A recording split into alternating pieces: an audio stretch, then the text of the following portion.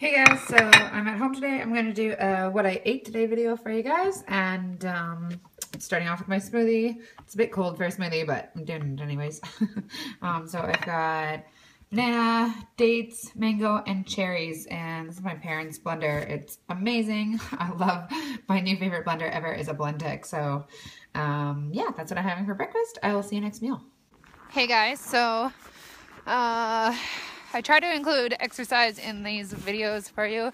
Um, and as for now, this is what I got.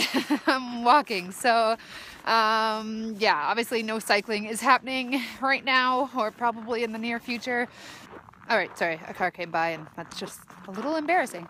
Anyways, um, yeah, no cycling right now.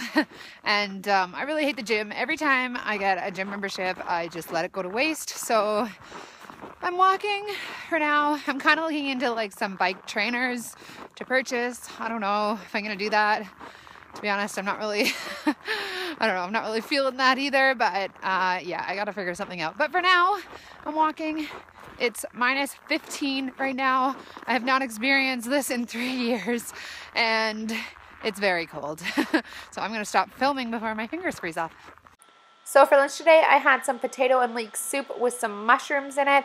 Um, and on the side, I had three pieces of low sodium Ezekiel bread and a half an avocado, which still leaves my fat intake well within the 10% range. Hey guys, so for dinner I'm having just some potatoes. So these are like little mini potatoes. I'm gonna make both of these bags and have leftover.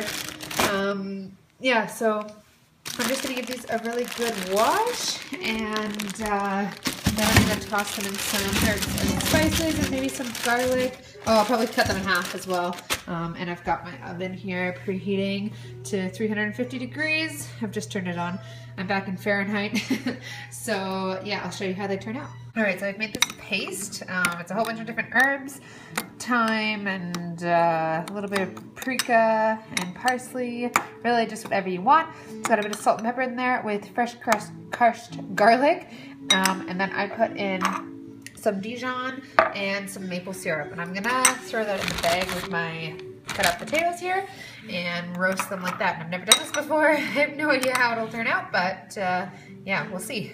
All right, so if I had thought about this earlier, I would have done it this afternoon and then let these like kind of marinate, but yeah, I didn't think about that. so I've just mixed this, mixed this around and this is where I'm trying to do things with one hand that you need two hands for.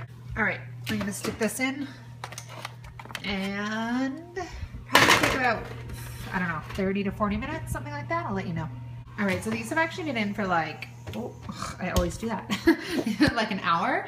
Um, so yeah, quite a while. I should, I always regret not, um, you know, steaming them first or boiling them. But anyways, I didn't live and learn. I thought this oven might be better than my crappy one in Melbourne, but it's not.